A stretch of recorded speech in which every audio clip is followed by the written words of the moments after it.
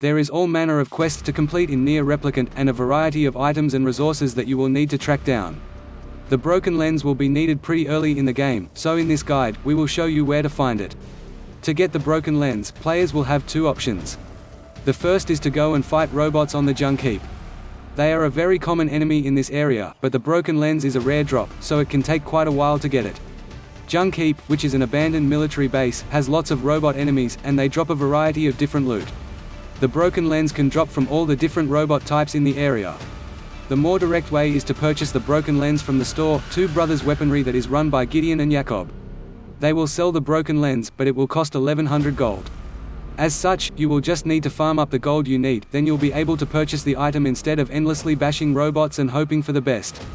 While you are at the Two Brothers Weaponry store, don't forget to speak to Jakob and get the map for the junk heap area.